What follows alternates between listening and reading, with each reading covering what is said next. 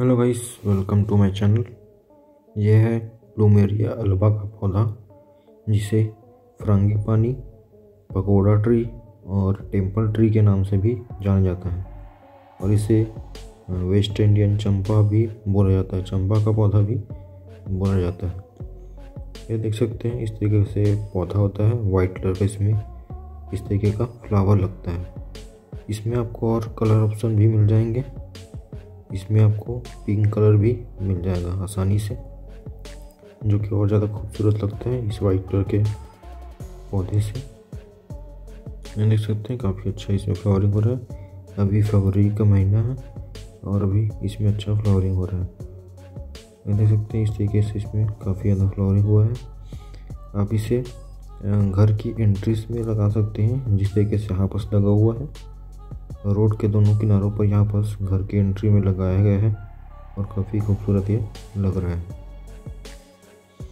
और इसमें अगर कुछ पिंक कलर के भी होते तो और भी मज़ा आ जाता। ये देखिए, और काफ़ी बड़ा बड़ा ये प्लांट हो चुका है।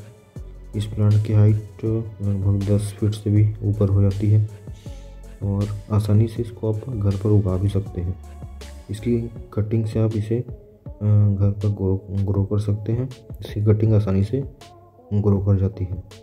अब इसकी कटिंग को पौधे से काट कर फिर उसकी बर्ड्स और पत्ती सारे को हटा कर ही ग्रो करें। ताकि अच्छे से यह ग्रो कर सके और पत्ती और बर्ड्स को यह एनर्जी मत दे। ये देखिए, ये सबसे बड़ा प्लांट है यहाँ पास। ये देख सकते हैं, दस बारह फीट का इसका हाइट है। और काफ़ी अच्छा इसमें फ्लावरिंग हुआ है देख सकते हैं।